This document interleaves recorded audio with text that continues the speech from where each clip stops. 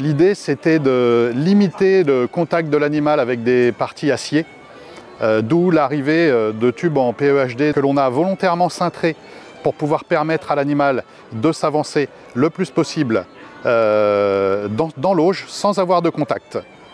Il va essentiellement être arrêté au niveau du poitrail. Le peu de contact qu'elle va avoir, elle va l'avoir sur, sur une matière très agréable.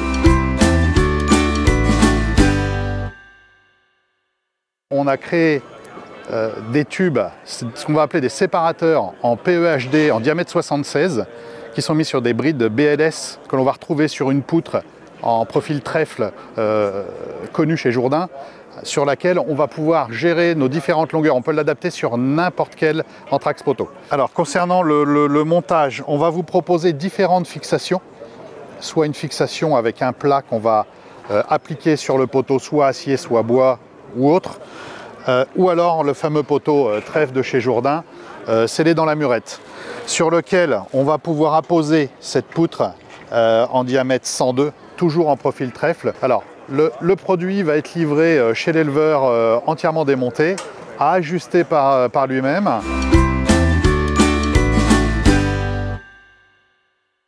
L'intérêt aussi n'est pas que pour l'animal, il est aussi pour l'éleveur.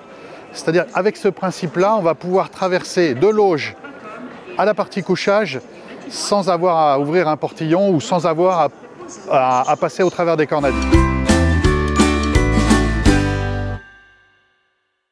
Concernant le, prix, on est situé entre un libre service, euh, on va dire oblique, et, un cornadi. On ne le propose pas pour le moment euh, sur euh, la partie viande, pour la simple et bonne raison qu'on n'a pas assez de retours sur le produit dans nos tests.